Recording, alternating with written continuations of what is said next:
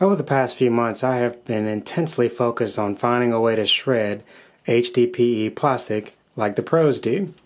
I gave myself the added challenge of not using my industrial gearbox here, and I also tried to avoid a lot of custom made parts like what you see here, which is required for the single shaft shredder design by Dave of Precious Plastics.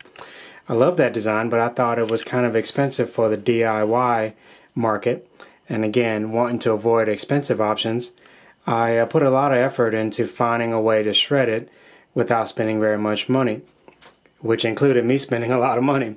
But the interesting thing is, uh, all along the way, many of you said that much processing was not required. They didn't have to shred it quite so much, and you could still get good blocks of HDPE plastic. And I thought, you know, if the professionals are shredding it, you know, certainly I need to shred it. But then one of my neighbors sent me this. This is HDPE plastic, which has been shredded in an industrial shredder. This brought about the perfect opportunity to test whether plastic, which has been shredded to the industrial standard, would actually be better than plastic that has been processed more minimally in a home environment. So, over this past week, I have been trying many different methods for processing this plastic using as little effort and cutting as possible. I'm going to pull up a little closer to the bench and walk you through what I've tried and uh, let's talk about the results. Okay, I thought I'd start by telling you how I processed each one of these samples and then we'll take these over to the bandsaw, cut them open for the real test, which is seeing how solid and consistent it is on the inside. This comes from a red watering can, which was HDPE. You can tell by looking at it that I processed this very, very little. Just to give you an example, the pieces uh, look something like this. I left the corners. I didn't go through much effort to make it flat. I left some of the ridges. Process for this one was I took uh, this pan, which looked a lot better before all of my testing. It was just about new. I took some parchment paper put it inside. Of course, this is all used and dried out now. I put all the loose pieces inside of there. And then I put another tray on top, the same size tray so that they fit uh, nest inside of each other. And then I also put these weights inside.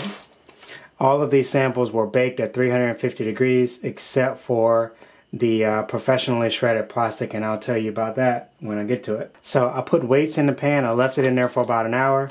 Then I took it out and I noticed that the plastic was sticking to the bottom of the pan. Uh, you can see here. So I went back, I put another layer of parchment paper in between and then I sandwiched them back together like so. Uh, after about, uh, this whole process took maybe uh, two or three hours.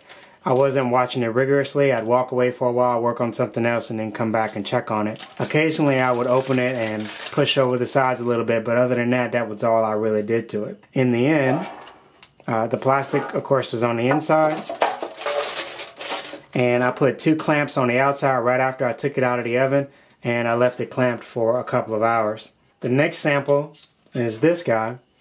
I put a little bit more effort into this, but the original pieces were similar to what I just showed you.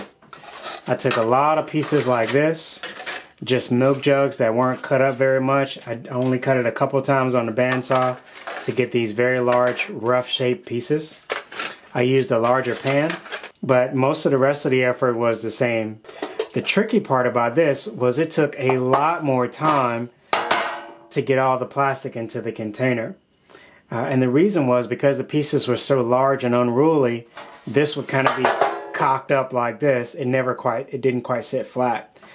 So I did put all the weights on the inside and over time it would sink down as it melted and then I would open it up, put a few more pieces in, press it down. In my opinion, that took quite a, a long time. The effort that I saved by not cutting it into smaller pieces was just spent trying to get all the pieces back into the can. So this method was not nearly as efficient in my opinion. Now you'll see that there's parchment paper stuck in here. I didn't go through any special effort to try to prevent that, but I think with a little bit of practice and uh, or maybe using something else as a non-stick surface and not parchment paper, then uh, that could be mitigated. So while you see uh, these residues of parchment paper stuck in here, I think with a little bit of practice, we could mitigate that problem. This guy is very large sheets like this. So I took a container. I had a whole bunch of these plastic food containers that I've been saving up. I only cut them a couple times, but because of their shape, I was able to lay these very flat inside the pan. I nested them using their natural shape, as flat as I could get it. And then the bottom pieces, I did the same thing. I just kind of scattered those inside the pan. And then I used the same process. 350 degrees, parchment paper on the bottom, parchment paper on top, the next pan on top of that one. I put a few weights inside and then I just let it melt. This was definitely minimal processing, so this is looking good for those who told me I didn't need to put much effort into it. The next one I want to show you is the one I'm most pleasantly surprised with, and that is the plastic that came from the most recent shredder concept. Uh, I'm calling it a concept because it is not nearly done. It needs a lot more work to make it safe and useful for daily, for regular use. But the concept is surprisingly good. There are a couple other modifications that I want to make, which I'll tell you more about here shortly. If you haven't seen that video, the material came out looking something like this. Uh, we had these long strands. Many of them were much longer than this. And then what was the equivalent of sawdust in the bottom, just this plastic dust. I took all of that and dumped it in a pan following the same process. I clamped it when I was done and that was baked at 350 degrees and then left to cool overnight. Although I'm sure that, you know, three or four hours would probably be fine. And this is really solid and uniform. And then we have this guy. This is the industrially shredded plastic. And all I did, as you probably can guess, is I just poured this into the bottom, kind of patted it down so it's relatively flat, another pan on top with parchment paper, and then I also put the weights inside of it.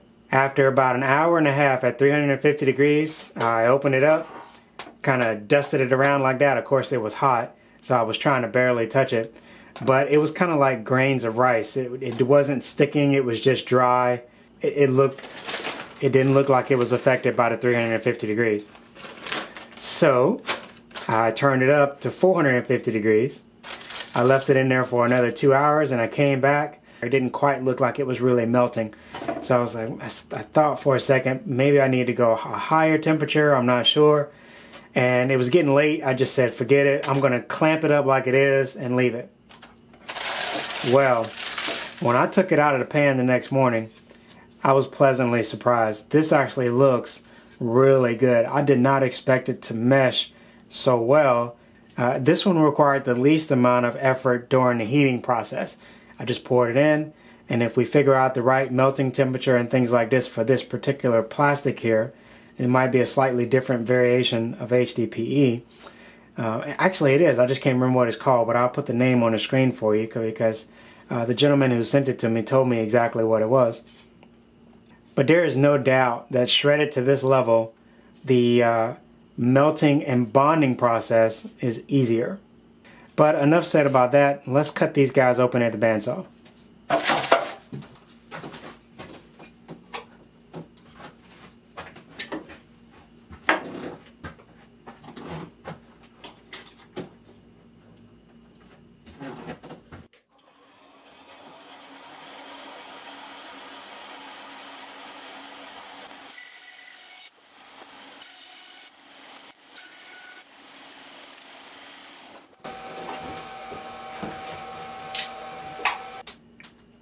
That's looking pretty solid.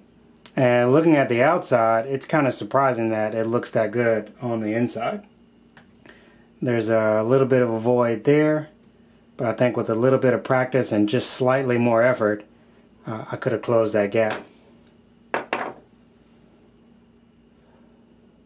So same kind of thing, quite a bit of it is very solid, that's really impressive. Uh, there's a gap here you know, I gotta admit, uh, it's looking pretty good for the minimum processing, folks. Uh, we'll find, we'll confirm with the next one in just a second. And there, just another small void, but otherwise very solid. This one actually doesn't look as good as the red one. There are some faint voids all along here, and that one is not looking nearly as good towards the edge there. I don't know. Alright, now we're moving closer to the center here. There's a void here, a void here. Ooh, nice big void there. Um, I mean, it's looking pretty solid, but there are a few more examples of void spaces in this one. Oh, that's the uncut edge. Oh, man. Alright, there's a big gap there. That to me to find that is unacceptable. I can look down in that hole and see there's definitely a cavity there. And there's another one right next to it. Uh, even though it looks great on the outside, if you were going to put this on a lathe, of course you'd make a thicker block, but if you wanted to spin this on the lathe and uh, your tool got caught in that hole, you'd likely rip this thing right out of your chuck. So I don't, um, not particularly happy to see that one. So this one was shredded on the Safety Police Provoking Shredder. Uh, that is looking amazingly solid all the way through. I can't spot a single void or cavity. And hopefully that is, looks like that might be in focus there for you.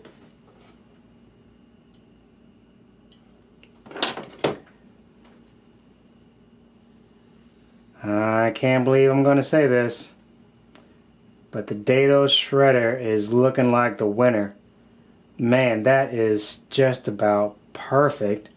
And there was very little effort put into this. Very little effort, both in the shredding process. All I did was feed it in there. And then also in the melting process. Alright, this is the one where I started with big sheets. So there is a, a little void here. Uh, it's not quite that deep and another void. Uh, that one's a little bit deeper though. Not liking that one too much. On the outside it looks great though. And most of it is pretty solid. So some of this might be practice, right? Like I'm, I'm taking into consideration that this is not a huge sample size. So with a little bit of practice and a more effort in the right places, we could get better results, right? Alright, all of that is looking really good. And then right there, there's a big deep void. Man. And then another one right next to it. And that side looks beautiful all the way up to that part. Relatively deep void and one here. Um, Alright, that's, that's maybe not good. And professionally shredded plastic. Well, it's looking very solid except for a pinhole there and a pinhole there. Wow, look how uniform and thick that is though. It was not nearly as easy to get the other ones that thick. All I had to do was just pour it all in there. This side is very solid. I can't find a single void on this side. So considering the thickness of this piece, that's about it. Let's take a look at the other ones.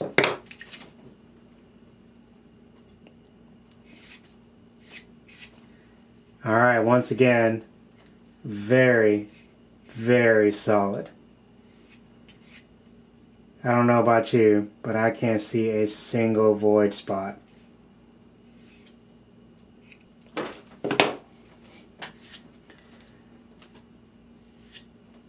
Wow. Well, now we know why they make industrial shredders, right? That is beautiful. Okay, here are my thoughts. I'm going to say the winners by far is the industrially shredded plastic and my Dado shredder. I cannot believe that. That is shocking. Um, but this is a preliminary test. I think some of this is practice. So here's where I want to put my efforts now. I think what I'm going to do is I'm going to take my dado shredder. I'm going to put the blades back together, get rid of the spaces, and shift up the table to the top so that it cuts more like a table saw with the blade coming towards the plastic instead of the blade grabbing it and pulling it away from me. I think that's going to be the, the safest and most effective design. And so I am going to put a little more effort into the shredder, but I think that's as far as I need to go with that. Um, but it could be argued, I think it could be argued that with practice, you can make really good solid blocks with very little processing. The ideal situation in my picture, in the way I'm picturing this situation now to get the ideal results, is if you have containers that can be cut into relatively flat pieces, like what I showed you earlier, pieces like this. Of course, you would clean it and get rid of the stuff like this. Press it, and if you are willing to put a little more time into the cooking process, if you will, then uh, you can bypass some of the cutting process. But in my mind, it appears to be that you're really trading one part of your time for another part of your time. And if you have a really good shredder, the cutting process will be really simple.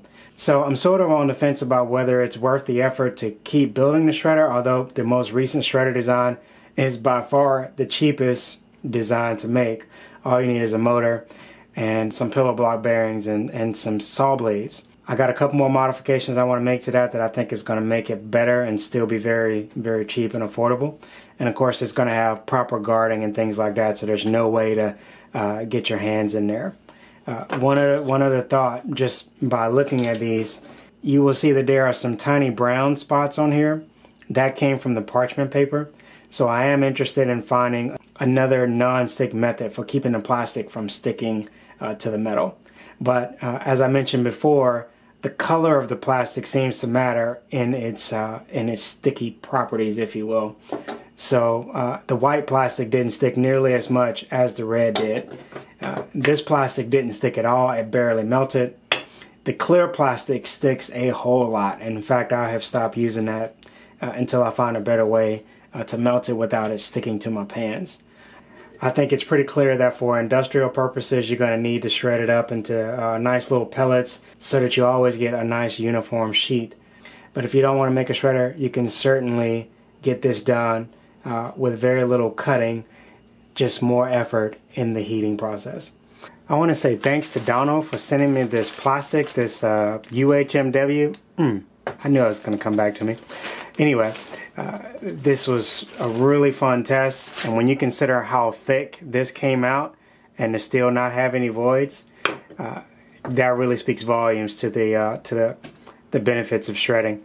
So I really want to focus on the heating and cooling process now, and I'm going to be trying some other experiments that I have in mind. But I'd love to combine your ideas with mine, and let's come up with something uh, that makes this process really easy and fluid so that we can get good solid results each time. I look forward to speaking with you guys in the comments, and uh, as always, thanks for watching.